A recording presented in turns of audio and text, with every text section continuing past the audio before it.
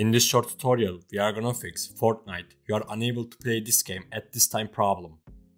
Before moving on to the video, don't forget to leave a like. I recommend watching the video once before trying solutions. The first solution consists of two small steps. The first thing we need to do is clear Fortnite's and Epic Games cache files. To do this, we go to search and open run. Then type percent %look data percent in the search bar and click OK. In the folder that opens, we find Epic Games, Epic Games Launcher, and Fortnite game folders and delete them. Deleting these folders will not damage our game files. We will just need to log back into our Epic account. If you get a folder in use notification, close Epic Games and try again. We have cleared the Fortnite's and Epic Games cache files. The second thing we need to do is to change the matchmaking region. To do this, we click on our profile from the top right and then click on menu. After that, click on settings and then click on game from the top. Here, if matchmaking region is set to auto, select the region with the lowest ping and if auto is not selected, select auto. After doing that, click apply. This was the first solution. Now we can check if the problem is solved or not. If the problem is not solved, we will move on to the second solution. Also, don't forget to like the video if you haven't already. The second solution is to refresh our internet. If the problem is caused by our internet, doing this will solve the problem.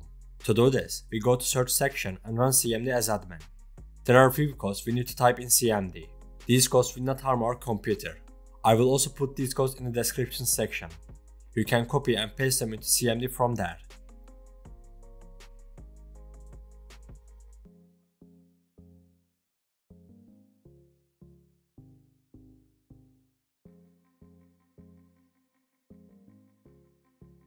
We are done with CMD. Now, we need to restart our computer to complete the process. After restarting, you can check if the problem is solved or not. If the problem is not solved, we will move on to the third solution. The third solution is to change Fortnite's compatibility settings. To do this, click on Library and then click on the three dots next to Fortnite. After doing this, click Manage and then click on Open Install Location. Then, we open the Fortnite game binaries, and Win64 folders. There are 4 files with the Fortnite logo that we need to find. We scroll down and find these files. These are the files which we will change the compatibility settings. Right click on the file and then click Properties. Then click on Compatibility from the top. After that, we to run this program in compatibility mode 4 and select Windows 8. Then we click Apply and click OK. We will do the same for the other files as well.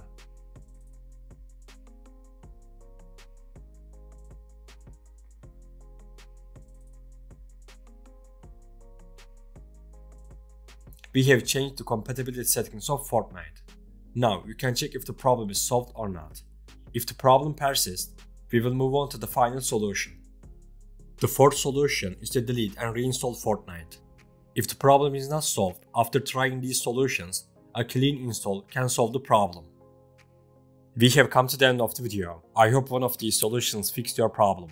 If the video helped you, don't forget to like the video. You can also subscribe to my channel to support me. Take care and see you in the next video.